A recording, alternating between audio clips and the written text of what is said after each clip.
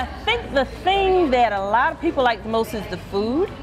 Uh, we often have the, the fried fish, we have live entertainment, uh, we have a DJ. It's just fun, fun, fun times.